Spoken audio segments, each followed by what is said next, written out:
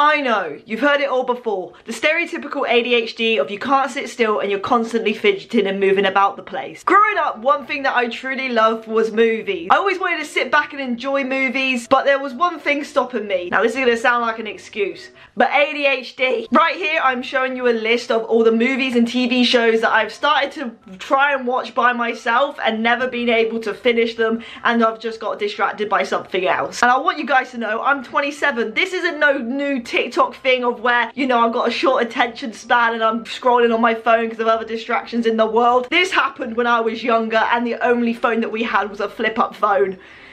Maybe I was playing Snake, but this wasn't any new thing. This was me, and this was a struggle I had until I met a man. And just like anyone else who's met a man, my life changed. Now this wasn't your stereotypical man. This man watched a lot of movies and a lot of TV shows and read a lot of books. He is what we call a nerd. I always thought I am a nerd myself, but I could never consume books, TV shows and movies like everyone else could and the information wouldn't always stick. But I was a nerd in other ways. So I talked to this man and yes, there may be a bit of flirtation in there, planting the seeds. And I told him my problem about starting movies and TV shows and not being able to finish them. So he muttered the words to me, bet. And the next day he sat me down and we watched a movie called Whiplash. And yes, we may have had to pause it a few times. And yes, he may have had to look at me and be like, you're not on your phone, are you? But we made it to the end of the movie. And can I just say that is one of my favorite movies to this day. Not just because it was one of my first movies that I got all the way through, but Whiplash is an incredible movie. And anyone who's watched it will know. And it's actually kind of ironic that this movie was of a young drummer and a teacher. It's all about obsession and perfectionist. And the teacher keeps pushing and pushing him. You're probably thinking, well, why did this change? Is because you fancied the guy and wanted to watch the movie for him? No.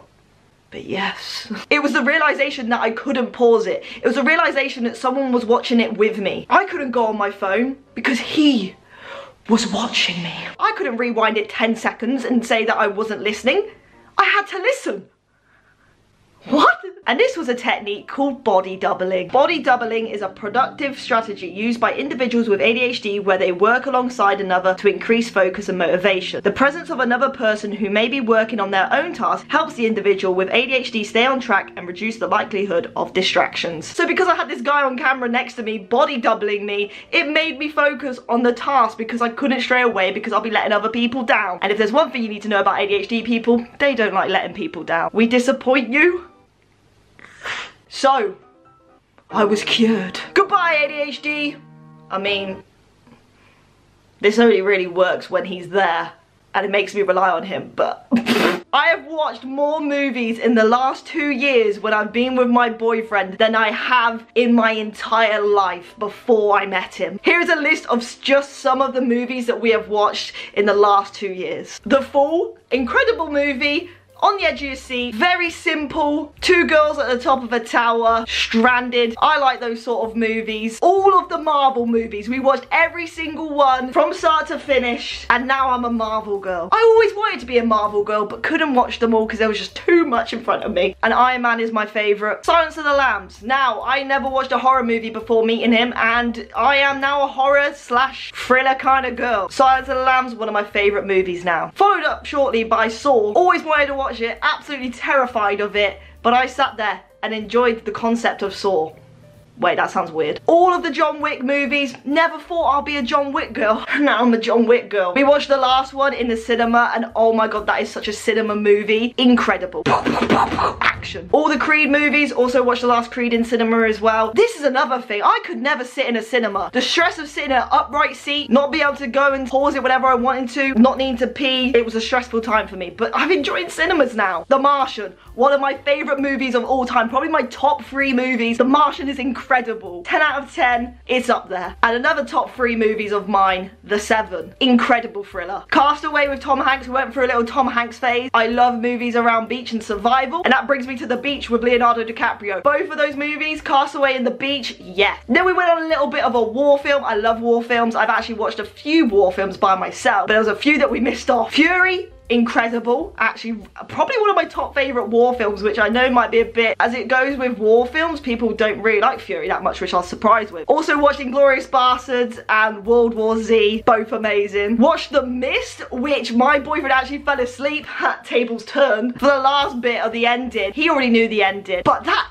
ending, man, I couldn't sleep after that. We also watched a movie called Tusk, and that's all I have to say on Tusk. That traumatized me. It was incredible, but incredibly just disgraceful. I don't know how to feel about Tusk. And very closely to Tusk is Midsommar. I don't know how to feel about Tusk and Midsommar. They are crazy. Obviously, we watched Oppenheimer and Barbie around the same time. Incredible movies. Everyone's talked about those. But the fact is, I sat through Oppenheimer with no breaks. I deserve a round of applause. And then he introduced me to not only Galaxy Quest, which is mad that I didn't watch because it had Alan Rickman in it, Galaxy Quest and Starship Troopers. I was like, why would I want to watch these? But these are incredible movies. Starship Troopers is up there in my top five. The same with Galaxy Quest. Galaxy Quest just, I love the nerdiness of Galaxy Quest so much. I'm so sorry that I'm so late to all of this. We are currently watching all of the X-Men's, Wolverine, Deadpool, ready for Deadpool 3. I love the X-Men way more than I love love the Avengers, which I don't know if that's controversial or not. And I know I'm so late to this all.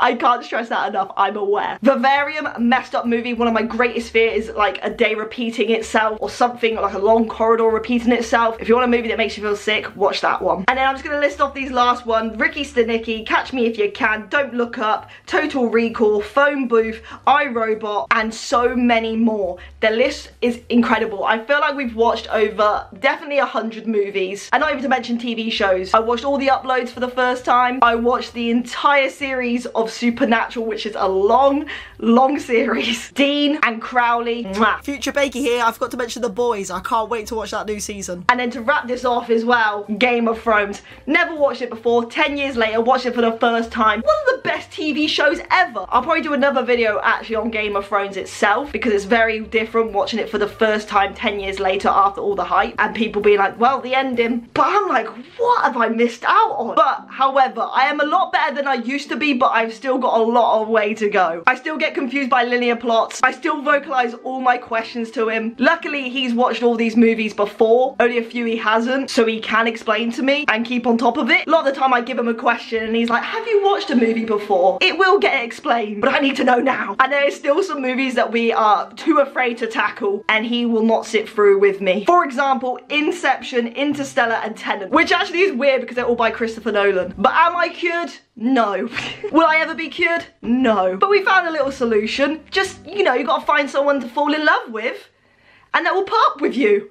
Nah, but body doubling has definitely saved me a lot. So if you have any friends or family, or even get a pre-recorded video of someone, then you can watch a movie and have ADHD. We got a long way to go, but I feel like I probably could sit through half a movie now, whereas before I could only sit through about 10 minutes of a movie. Am I cured? Let me know in the comments down below, and let me know if there's any movies out there that you guys can't sit through. I'm always looking for movie suggestions as well, so put those also in the comments down below. I love thriller, survival, movies that make you think, but genuinely, I love everything now, which is mad. Whoa, I actually aren't against any movie genres. I hope you guys enjoyed this different style of video. If you did, give a big thumbs up. Hit that subscribe button for more videos from me, and I'll see you very, very soon with another one. Bye!